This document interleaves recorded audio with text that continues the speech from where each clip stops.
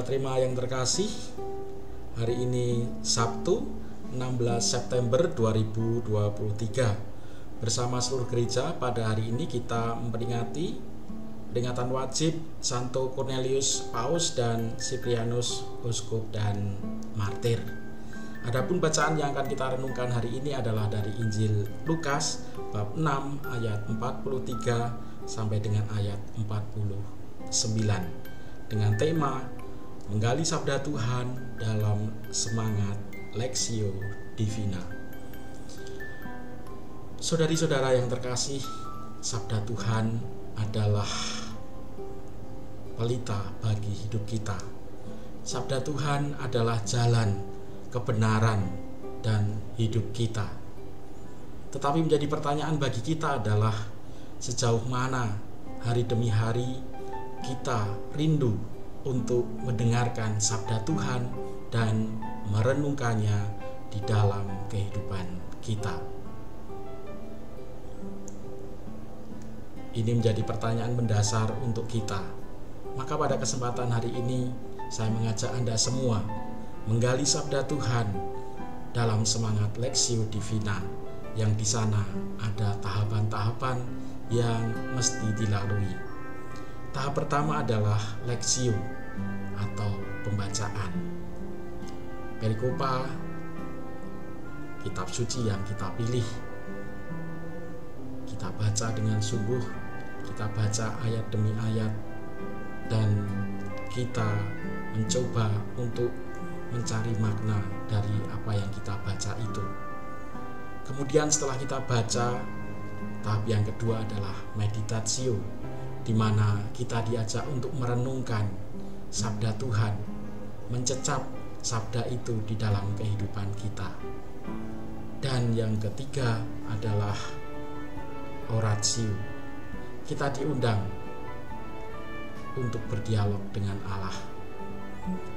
Kita memiliki pengalaman-pengalaman hidup yang kalau kita renungkan sabda Tuhan ini akan sungguh memberikan terang dari setiap pengalaman-pengalaman itu.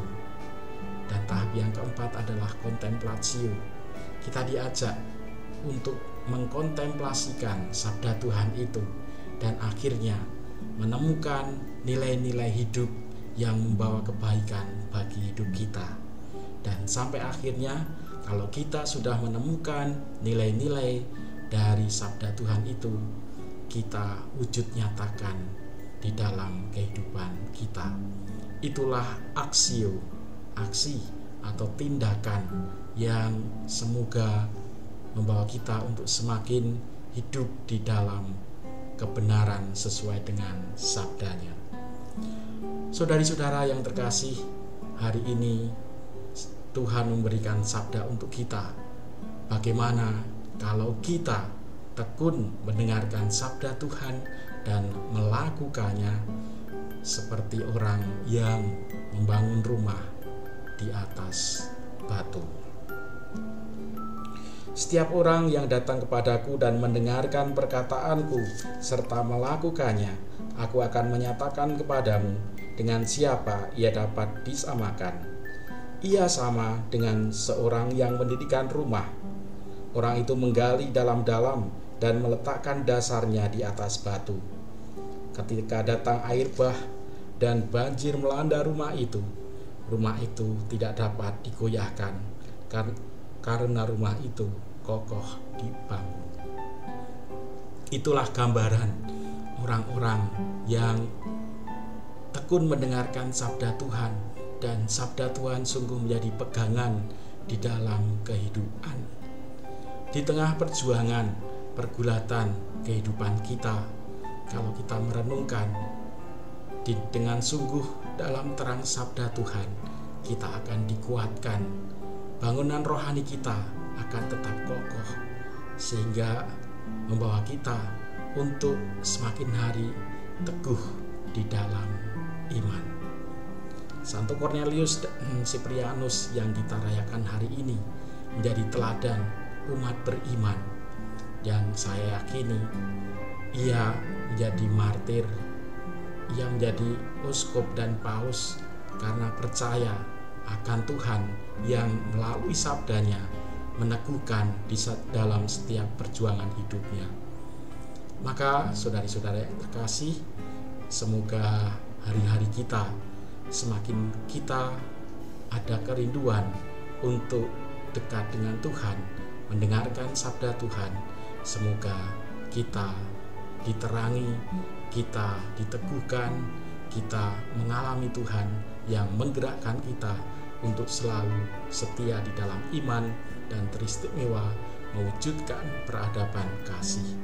Dan semoga dalam semangat Lexio Divina kita semakin hari semakin bisa mencecap sabda Tuhan yang sungguh membawa kita kepada kebenaran-kebenaran hidup yang memerdekakan, yang menyelamatkan kita.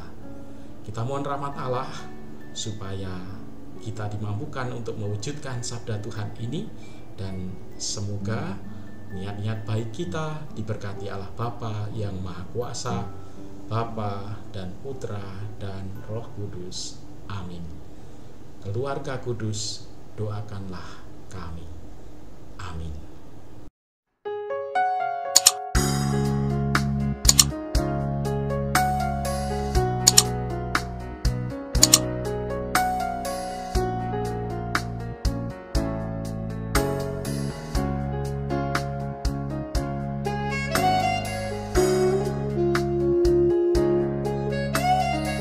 Sahabat Rema, sampai jumpa dalam program berikutnya.